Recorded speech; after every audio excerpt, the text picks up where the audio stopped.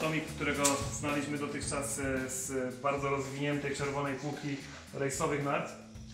Od jakiegoś czasu rozwija tak zwane modele crossternowe, których stał się z jednej strony prekursorem, z drugiej strony można powiedzieć, że zdominował tą półkę. A to za sprawą modeli e, X9 na początku, wcześniej zastąpionych, znaczy wcześniej poprzednikiem ich był X-Tech, czyli tej konkretnie narty. E, To jest najbardziej chyba sportowa z wszystkich e, crossternowych nart.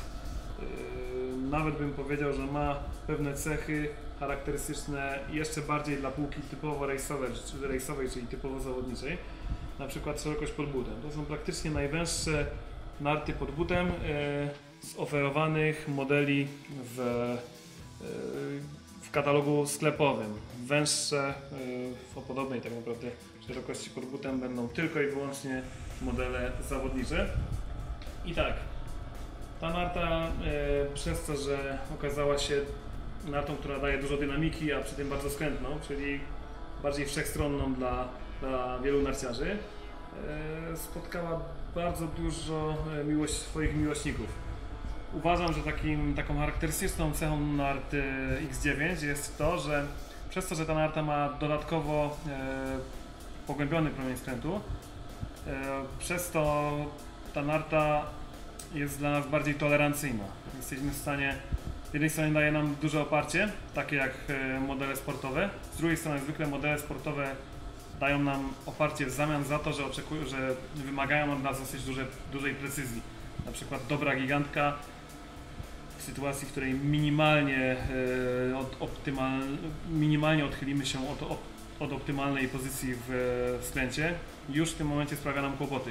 X9 przez to, że ma zap, zapas e, tego promienia, e, przez to, że jest dosyć sztywna, czyli trzyma od początku do końca skrętu, ma, ma jakby cechy z jednej strony daje dobre oparcie, a z drugiej strony jej tolerancja na nasze błędy jest większa.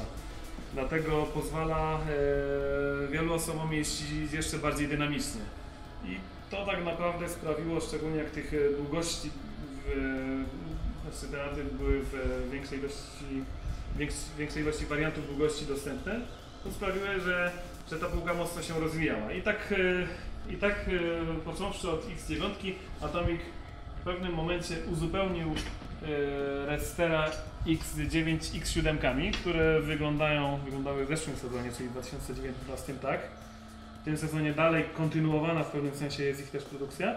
I to jest też e, już troszeczkę co prawda szersza narta, ale typowa rajsówka e, bez praktycznie pogłębionego rockera. I to jest po prostu bardziej lekka odmiana tejże X9 dla rozwijającego się narciarza. X9 była już dla narciarza dojrzałego, który szuka tylko i wyłącznie dynamiki i takiego bezkompromisowego oparcia e, w skręcie. X7 to jest narta, która e, nie, nie, nie zachęca, znaczy nie narzuca nam tylko i wyłącznie dynamicznej jazdy.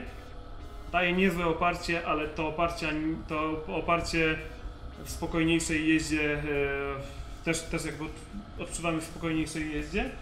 I druga sprawa jest też taka, że X7 e, jeszcze więcej tolerują, e, więcej, jeszcze bardziej są tolerancyjne, jeżeli chodzi o, o, o precyzję z naszej strony. To wszystko zostało w tym roku rozbudowane o linię X7 i X9 WB. Narty o szerokości 75 mm pod butem. Jak na razie świetnie się sprawdzają na stoku i chyba właśnie X9 Whitebody ma najlepsze opinie. Te narty łatwiej rozpoczynają skręt w e, trudnych warunkach, w warunkach, gdzie jest więcej młot, w warunkach, gdzie e, podłoże już się robi miękkie i, i X9 na przykład wolałaby mieć lepsze oparcie. X9 w miękkim śniegu będzie nam dłużyć skręt, X9 WB ten skręt rozpocznie, ponieważ e, nie potrzebuje aż tak dobrego, mocnego oparcia swojego dziobu. Tak samo X7. X7 będzie rewelacyjną nartą dla rozwijającego się narciarza na, przygotowan- na przygotowaną trasę. Da mu nawet więcej dynamiki niż odpowiednik X- X7WB, ale X7WB będzie takim pewniakiem na, na warunki, każde praktycznie warunki, jakie, jakie napotkamy na trasie.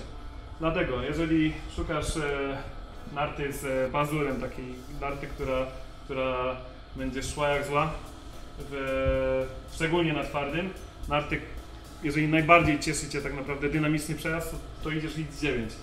X9 is is uh, I like it very much because it's uh, working good for GS turns, for slalom turns, and uh, especially if you have uh, pist slopes which are more people, then this one is, is really good. Jeżeli potrzebujesz większej uniwersalności i chcesz mieć kontrolę w każdych warunkach i takie narty są troszeczkę dla Ciebie problematyczne w, w trudniejszych warunkach, trzeba wziąć wtedy X9 WB.